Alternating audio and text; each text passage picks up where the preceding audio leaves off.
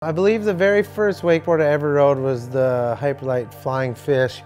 It wasn't mine, it was a buddy of mine's, and they had a jet ski, and that was the very first time that I ever stepped on a wakeboard was on a flying fish.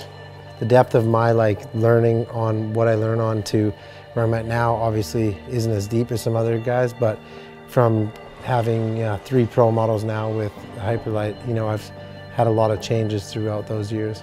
Your very first pro model is definitely a challenging thing to do because you're nervous obviously because once you commit on something and you know sign off on it that's that's your board. So um, luckily for me I had some really great people helping me um, Aaron. He's still the only guy I've ever shaped a board with.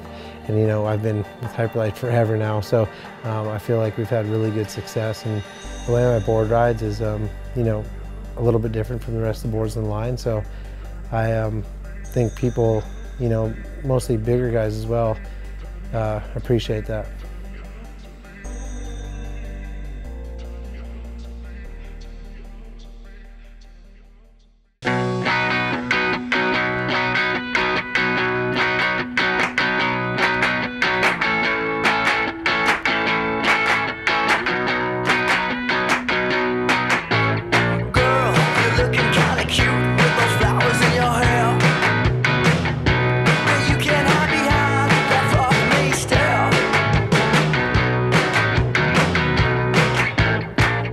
Few wakeboarders work as hard as Rusty Malinoski, and the passion he has for the sport has been poured into his shape, the Kruz.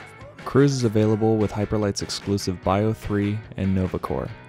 Rusty and shaping expert Aaron Stumpf have shortened the overall length but added surface area with the board's width. The development process was amazing, and the final product has Rusty so excited because he is improving his craft on the Kruz.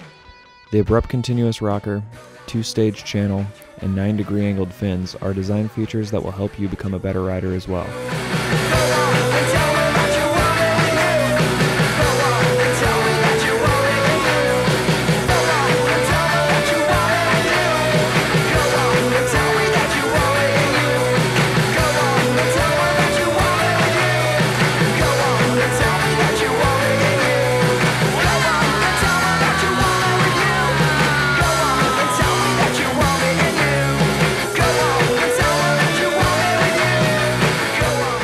For more information, check out hyperlite.com or go to your local dealer.